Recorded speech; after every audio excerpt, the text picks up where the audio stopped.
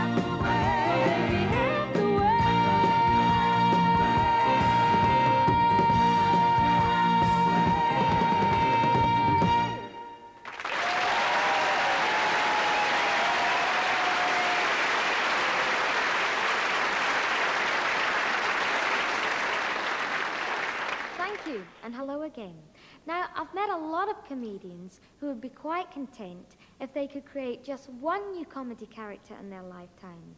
But in his long and successful career, my first guest tonight has created literally dozens of them. And luckily for us, he's still creating them. Ladies and gentlemen, Dick Emery.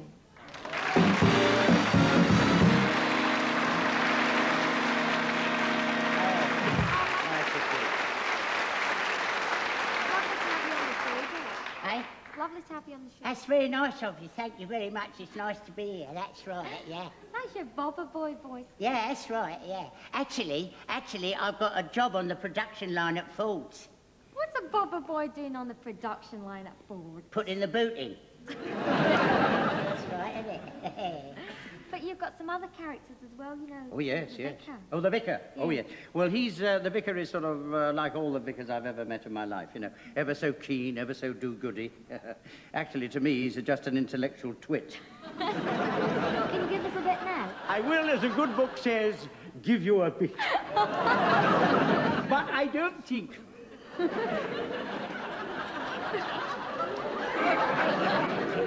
I don't think we have ever seen you in our church, have we? Ah, well, I don't think you have actually. No. Which church is it? The Church of St. Beryl's in Peckham High Street, alongside the Quick Clean Laundrette, because as everybody knows, Cleanliness is next to godliness. precisely.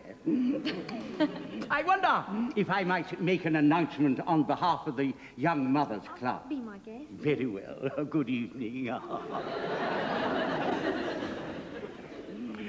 the Church of St. Beryl's Young Mothers Club is now meeting in the Nissen Hut, in the Nissen Hut at the back of the jam factory, every Thursday night, and we're desperately in need of new members.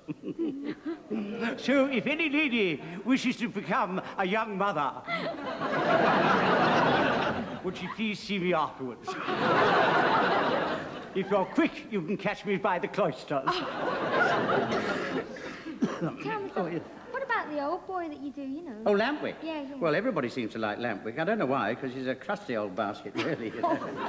I'll tell you what. What? Why don't we do a bit together, you know, me and Mr. Lamp? Would you like to do that? Yeah. Well, I'll tell you what you do. Look, stand by and wait for the Wonder Woman a bit, all right? I'll do the Wonder Woman. You ready? Right. One.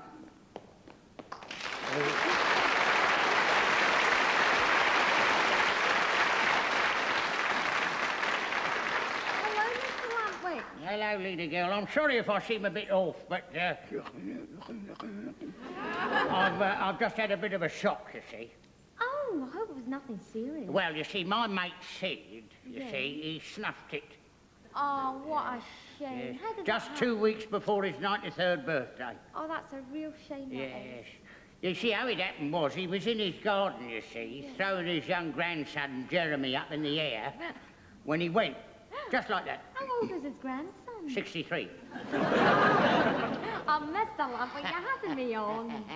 That's what the young bird said to me at the bus stop. Proper little darling she was. Oh, yes, a proper little... I, I tell you, if I'd have been a few years younger or she'd been 60 years older... What happened? What happened? Oh, oh, oh, yes, what happened? Well, she, she, she had on one of these, these very tight skirts. Yeah. With the buttons going up the back, you Oh, see. my- oh, that- Um, uh, yes, yes, well, you, you're mind boggled. Anyway, the, the bus come along. When it come along, the platform was too high for to, her to get on, you Yeah. see. So I, uh, I, uh, I, uh, I gave her a helping hand, you see. I bet you did. In a gentlemanly way, of course. Oh, of I kept my gloves on. so, uh, anyway, still she couldn't get on, you see, so uh, she, uh, she undid one of the buttons. Oh, my dear. Still no good.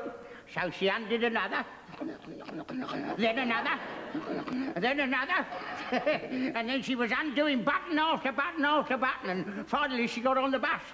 and she turned around to me, she said, thank you very much. She said, that was getting most embarrassing. I said, you're telling me the last two buttons were mine. Mr. Lumper, you are awful. But I like you. Here, what's it? Smash your head in doing things like that? What's the matter with you? Got carried away. well, yes, I know. I tell you, Mr. Lumper, why don't we sing a song together? Would you oh, like to? That's a good idea, yes, but I mean, a youngster like you, I mean, I watch these youngsters on top of the pips or the pap paps or the pops. I mean, they're all filleted, aren't they? They must be to move like they do. I tell you what, I'd like something a bit more dignified. Look, oh yeah, why don't we sing the If You song? What's the If you song? You know, if you were the only girl in the world and I was the only boy, how Oh, about that? Terrible. you wait till you hear me sing. Oh. That's nice. If I were the only girl in the world, and I was the only boy. oh, nothing else would matter in the world today. we would go on loving in the same old way. A garden of Eden, just made for two. With nothing to mar our joy. Oh, I would say such wonderful things to you. I bet you would. Ah, we would have such wonderful things to do. If I were the only girl in the world,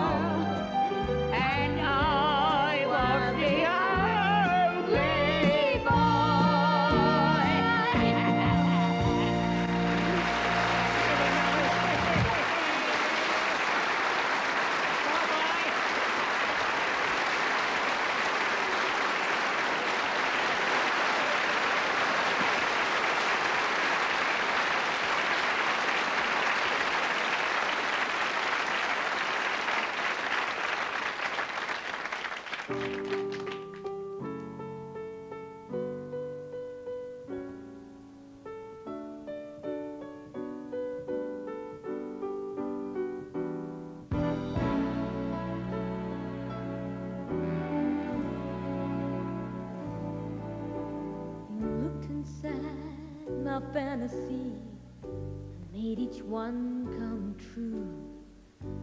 Something no one else had ever found a way to do. I kept the memories one by one since you took me in. I know I'll never love this way again.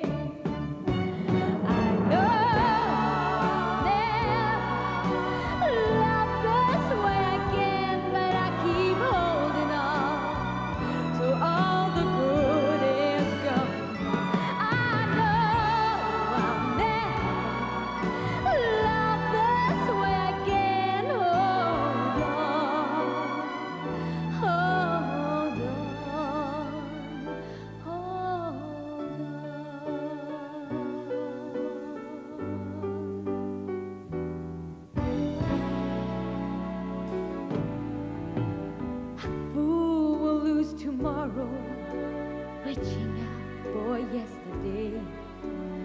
But I won't turn my head in sorrow if you should go away. I'll stand here and remember just how good it's been. I know I'll never love this way again.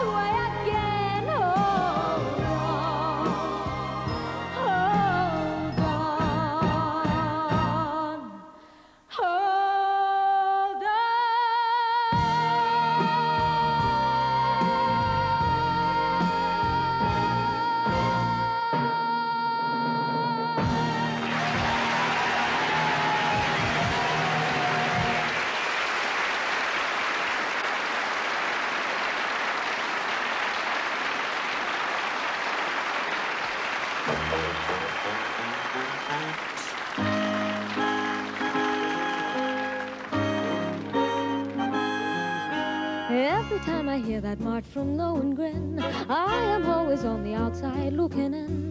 Maybe that is why I see the funny side when I see a fallen brother take her bride. Weddings make a lot of people sad, but if you're not the groom, it's not so bad. Another bride, another June, another sunny honeymoon, another season, another reason for making whoopee. For making whoopee.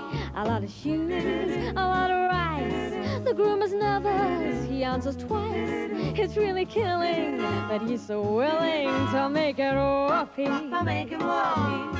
Picture a little love nest down where the roses cling. Picture the same sweet love nest.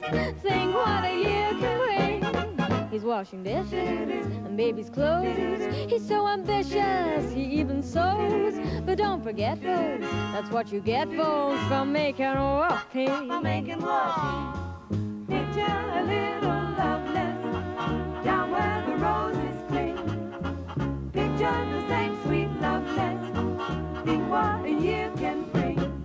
washing dishes and baby clothes. He's so ambitious, he even sews. But don't forget, folks, that's what you get, folks, from making whoopee. From making whoopee. So don't forget, folks, that's what you get, folks, from making whoopee.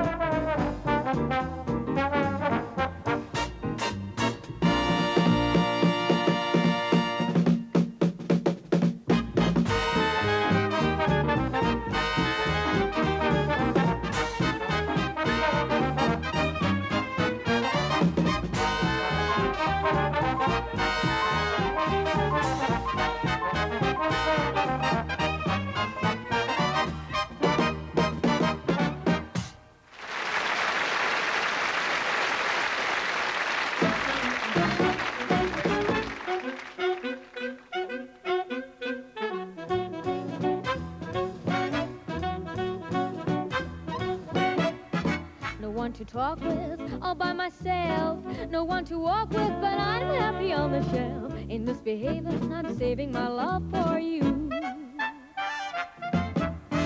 I know for certain the one I love. I'm through with flirting, it's just you I'm thinking of. In misbehaving, I'm saving my love for you. Like Jack Horner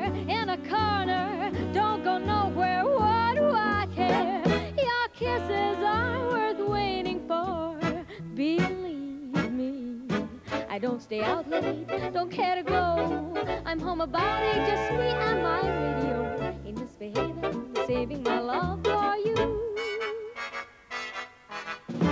No one to talk with, all by myself. No one to walk with, but I'm happy on a shelf. Mm. Ain't misbehaving.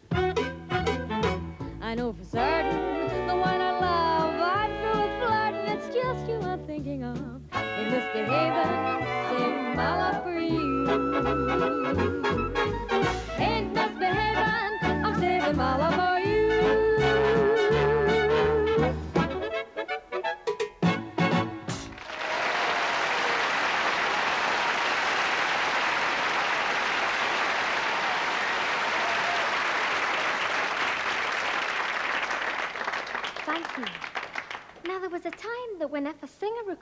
country and western number, then the only people who heard it would be country and western fans.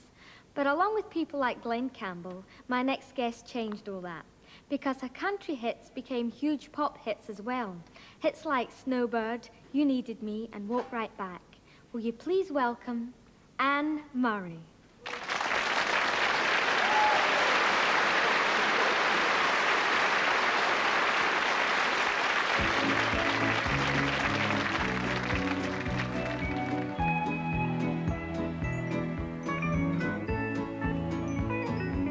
Beneath its snowy mantle, cold and clean, the unborn grass lies waiting for its coat to turn to green. The snowbird sings a song he always sings, and speaks to me of flowers that will bloom again in spring. When I was young, my heart was young then too. And anything that it would tell me, that's the thing that I would do. But now I feel such emptiness within. For the thing that I want most in life's the thing that I can't win. Spread your tiny wings and fly away.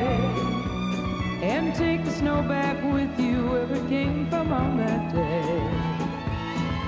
What I love forever is untrue. And if I could, you know that I would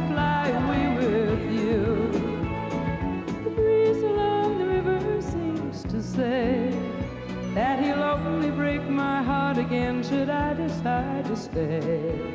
So little snowbird, take me with you when you go to that land of gentle breezes where the peaceful waters flow. Spread your tiny wings and fly away and take the snow back with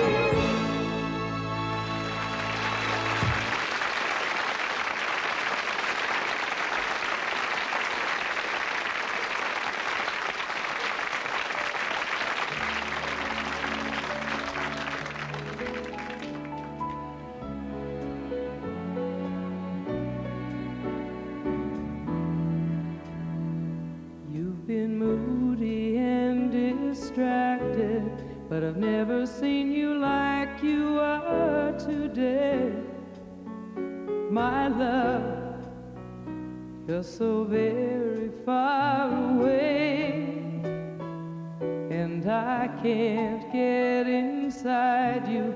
I cannot get to where the secret lies past those shadows in your eyes. Where do you go?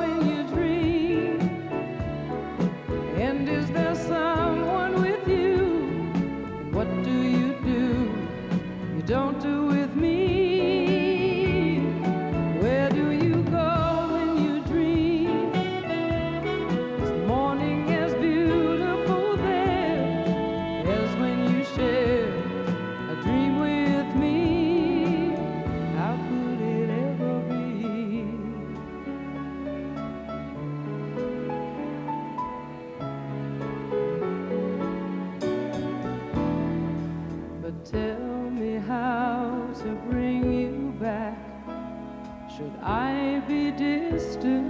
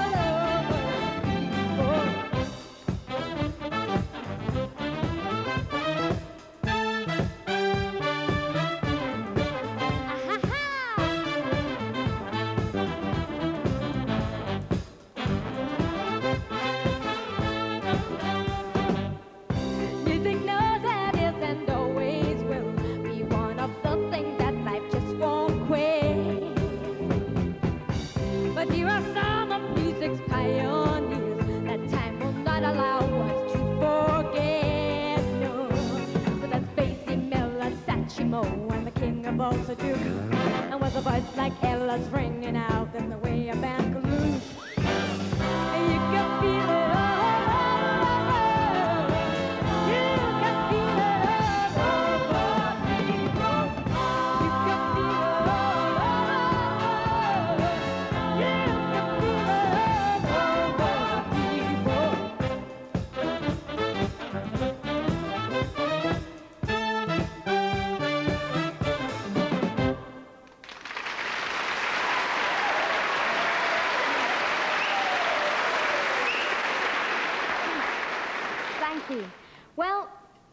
The moment which I really hate because not only are we almost at the end of a show, but we're at the end of a series. I'd just like to thank Dick Emery and Anne Murray. In fact, my thanks to everybody who's helped make the series such fun. And all the guests, Arthur Greenslade and the orchestra, and Ludovico Romano and all the dancers, and all the people who worked so hard behind the scenes, and of course to Stewart, my guru up there in the producer's box.